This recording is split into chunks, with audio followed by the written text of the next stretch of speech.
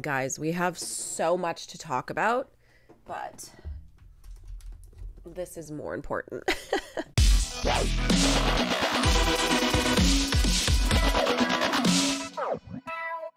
Hey guys, it's Ashlena. Welcome back to my channel. Oh my god, I'm filming this the day after the warning concert in Pomona. Yes, I am home. I got home late last night dealing with a sinus infection. So, God help me if one of you people I met got me sick. You're in deep trouble. Um, but it's okay. It's fine. It was just not fun being on a plane with a sinus infection, but I was smart enough to buy um, some sinus and cold uh, Advil, Tylenol, whatever it was at the airport. And uh, I just didn't care. I was blowing my nose like a demon on the plane. I didn't give two shits. I just felt like shit. And it didn't help that, you know, all that pressure. My ears were getting clogged. My sinuses were getting, oh my God, don't go on a plane if you have a sinus infection. That's all I can say.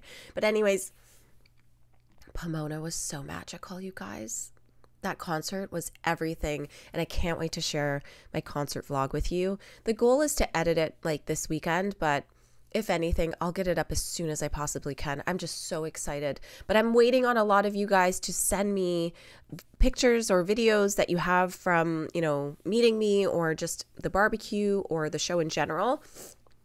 Um, but honestly, I think my vlog will be up way before this video on Wednesday. So I hope you enjoy it if you've seen it already.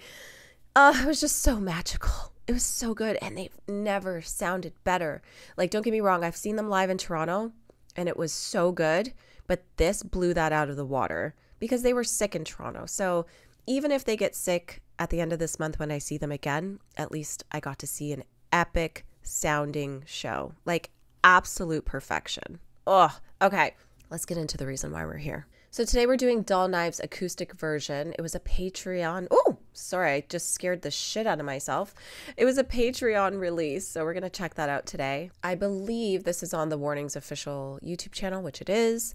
Um, I'm really excited. I love love, love, love watching acoustic versions of the Warning songs because not only do you get to hear kind of how it was made maybe a little bit more simpler before being perfected for an album, I just know it, they're going to sound amazing. Now, this came out April 21st, 2020 on YouTube. So for Patreon, it obviously came out before then. So this was like four years ago, which is crazy. So I'm I'm so excited to watch this. I am just reading um, it says Paulina 17 on piano and second voice Daniela 19 main vocal.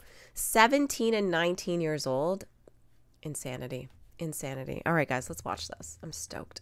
Oh, this is cute. It looks like it's at. Where are they? Is this at home, maybe? But I want to know what that award is on the table. It looks cool. It looks like one of these. So, oh my God, you guys. I'm sorry to do this video while I'm sick too, but obviously Monday's a holiday, so I want to get this to you guys on time for Wednesday. So let's do it.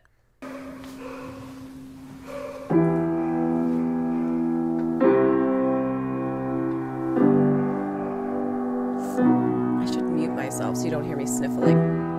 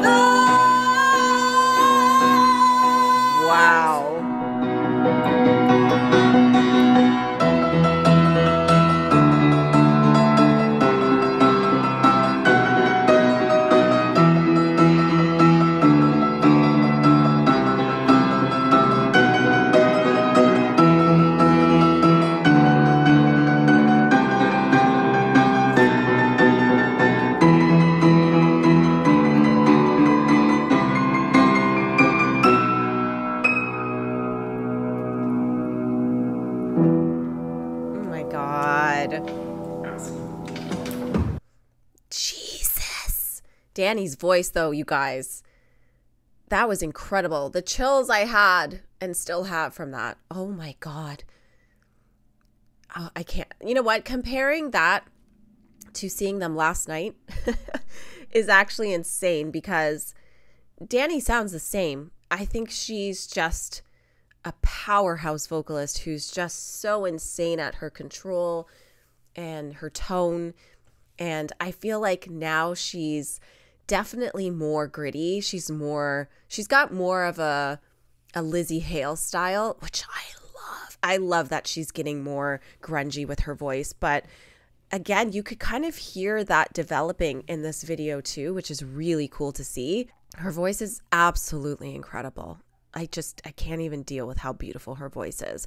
And I've always said like, you know, Hayley Williams was always on my my top list of female vocalists, but her and Danny, man, they they are literally tied because I can't pick who I love more as a vocalist. I think they're both very unique and I love them both, but what I, think someone once asked me if I uh, could see, you know, a festival and Paramore was playing at the same time as The Warning, who would you go see? And I'm like, it's a very hard question, but to be fair, if that ever happened in my life, and I'm pretty sure I said The Warning last time, I think I would go to both. I would go watch Paramore first, and then I would go catch the end of The Warning set. It's just really impossible to choose between your favorite bands. And I think that's the only way to do it. And I've seen Paramore live a bunch of times. Um, the, the end of this month will be my third time seeing the warning. So I guess it would just depend like how far down the line this is of how many shows I've seen of both because obviously Paramore comes to Toronto, you know, every year or whenever they do a tour and I always see them. Um, but the warning, you know, I haven't seen them a lot. So if I had to choose right now, if that happened, I would choose the warning. Um, but if this was like years later, I would go to both it would be hard to choose. and it depends if I liked Paramore's new album or not, you know? Um, Paulina, her piano skills are incredible. That song alone on piano without vocals is stunning. It is literally like a piece of Mozart, people. I am obsessed with how it sounds on piano. I think it's gorgeous. Um, and her adding in the harmonies made that sound so delicious to listen to vocally, we all know that Paulina and Danny have insane voices. But when you put them together, magical. Even last night with the harmonies on stage, incredible. I, I think that's the best they've ever sounded. Um, and, you know, I've seen a couple of videos of their tours so far, and they sound great. But I think because they had some time to rest before the show, it was mind blowing. I'm really curious if you guys went to the Bellwether show the next night, which was last night, um, how they sounded in comparison if you went to both shows. Because I know a lot of people told me they were going to both shows, which I'm so jealous of.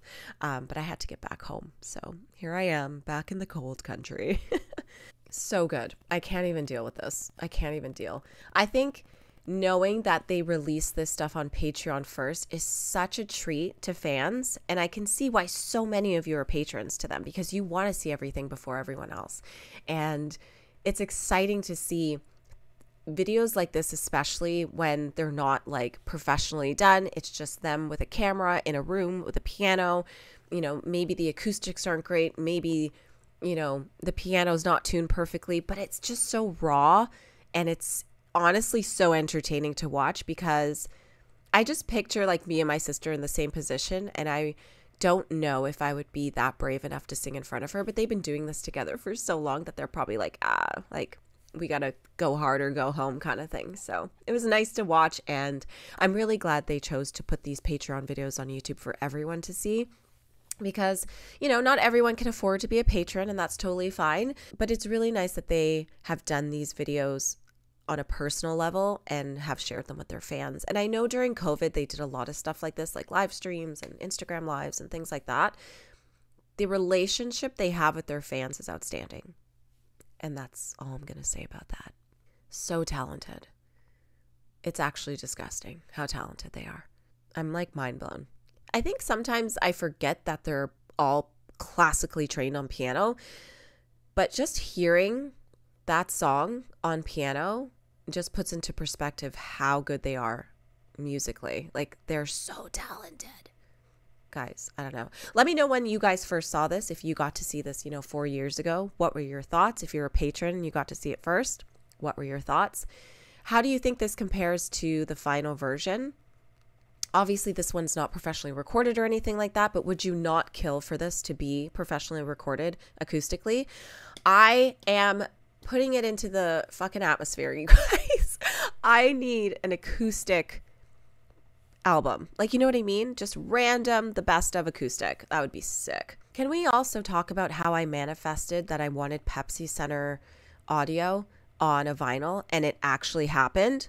You guys, I'm going to be manifesting all the warning things now because they are coming out with an exclusive error vinyl which is nuts for I think it's like Black Friday record store day something something. I'll put some information in the description. And there are a couple Pepsi Center songs on there. When I saw that, I got so excited and then I realized, "Oh no, this might just be for America." Nope. It's coming to Canada. I called my local record store. I said, Will you be ordering this vinyl? And they said, Yes. And I was like, Wicked. I will be there to pick one up. Hopefully, I can do it. My husband did offer to go super early and line up for me since he has the day off that day because it's on a Friday. Um, we'll see if he ends up doing it because we all know Conrad loves to sleep in. but I really hope I get a chance to own one and I know you can only buy one. I just think it's such a special vinyl to have some of those Pepsi Center songs on there and who knows, this may be the only Pepsi Center songs we get on a vinyl and I don't care. I need to own it. I need to own it. Okay. I hope my vlog is up for you guys. If not, you'll see it soon. Um, my vinyl of the day is Linkin Park. I found this at a random toy store when I was with my daughter buying her a toy, and they had vinyls at Toys R Us, which is crazy. And this is One More Light. I'm trying my best to own every Linkin Park vinyl. That's the goal. And to be fair, like, this is not my favorite Linkin Park album, but they do have some amazing songs on here, like One More Light, Battle Symphony. Oh, it's just so good so good and heavy. I really liked the song Heavy. I was really hoping that they would have chosen me to sing that song with them, but you know, maybe next time. well, no, because now they have Emily. it's all good. Thank you guys so much for watching this video. Oh my god, I can't wait to share all my Pomona information for you guys. If you've already seen it, wicked. If you haven't, it's coming. And I'll see you next Wednesday.